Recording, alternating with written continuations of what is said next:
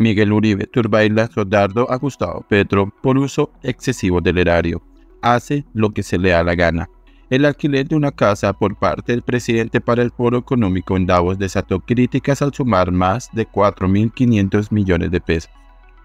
Durante los primeros 15 días de 2024, la gestión de Gustavo Petro enfrentó una agenda nacional intensa. Sin embargo, lo que llamó la atención del senador Miguel Uribe Turbay fue la divulgación de los elevados costos de alquiler de vivienda en el extranjero y los gastos asociados a los viajes presidenciales. El itinerario presidencial estuvo marcado por una tragedia en Chocó debido a deslizamientos. Además, el país sufrió la pérdida de la sede de los Juegos Panamericanos y al menos dos escándalos en el Ejecutivo, lo que generó críticas desde diversos sectores e incluso dentro del propio gobierno.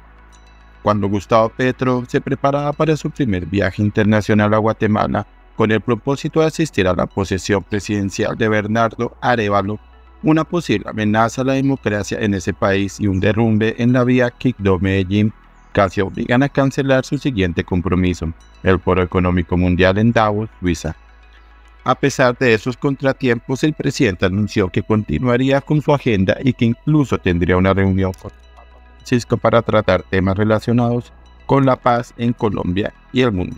Según la información divulgada por Caracol Radio, la solicitud de Gustavo Petro para disponer de una residencia durante el Foro Económico Mundial que tendrá lugar del 15 al 19 de enero tuvo un costo superior al millón de francos suizos, aproximadamente 4.500 millones de pesos colombianos.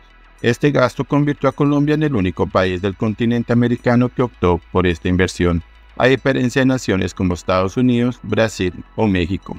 Ante estos detalles sobre los viajes y la agenda presidencial, el senador del Centro Democrático expresó su molestia, por lo que consideró una falta de conciencia del mandatario al utilizar los recursos públicos como si fueran de su propiedad. Con el uso de su cuenta de X, el congresista manifestó su desaprobación al señalar que la forma en que el mandatario manejaba su agenda era una falta de respeto hacia los colombianos, lo que implicó un derroche y pérdida de recursos públicos, lo cual, según el legislador, demostraba la falta de compromiso del presidente con el país y evidenciaba su incapacidad. Petro hace lo que se le da la gana con la plata de los colombianos, como si el dinero fuera de él. La manera en que el presidente Petro maneja su agenda es una falta de respeto por los colombianos e implica derroche y pérdida de recursos públicos. Demuestra además el poco compromiso que tiene con el país y comprueba otra vez su incapacidad, publicó el senador. La aseveración del parlamentario recibió respaldo de numerosos seguidores que no vacilaron en interpretar esa crítica como justa tomando en cuenta el gasto excesivo de los fondos públicos por parte del legislador.